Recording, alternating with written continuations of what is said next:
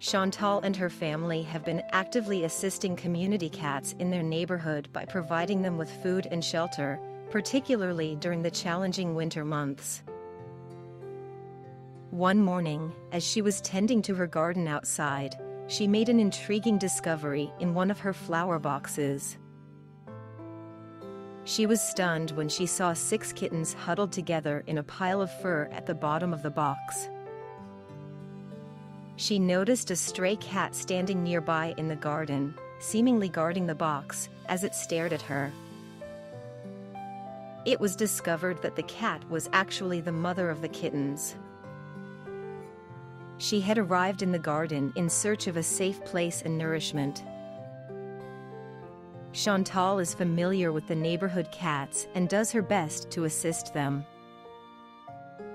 It is possible that the mother cat had become aware of this family and decided to bring her kittens along.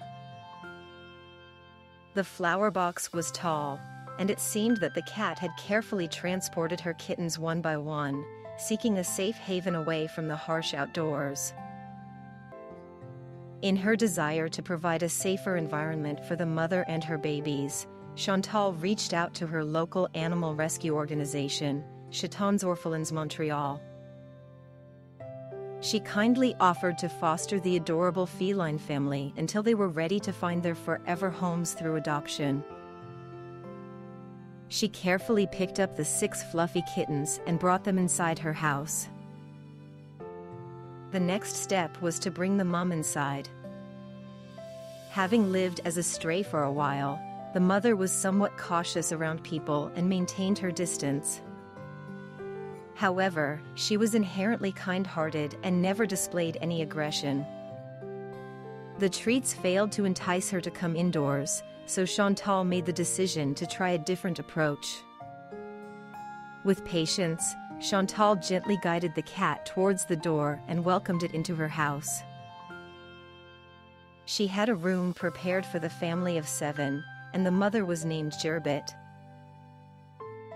The kittens are now approximately three months old and are prepared to explore the world on their own. Two of them have found their forever home together. The rest of the family is doing well in foster care, eagerly awaiting their happily ever after.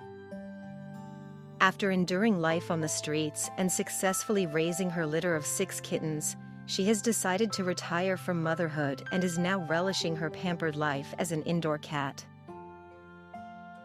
Thanks for watching.